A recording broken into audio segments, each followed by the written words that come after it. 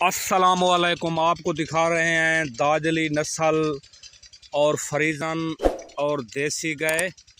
ये मंडी बहावलदीन ज़िक्रिया में लाई गई। ये देसी गाय हैं।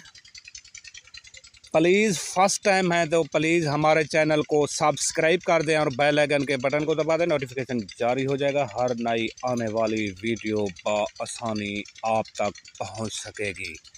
आपको दिखा रहे हैं देसी गाय। ये देसी गाय आपको दिखा रहे हैं जो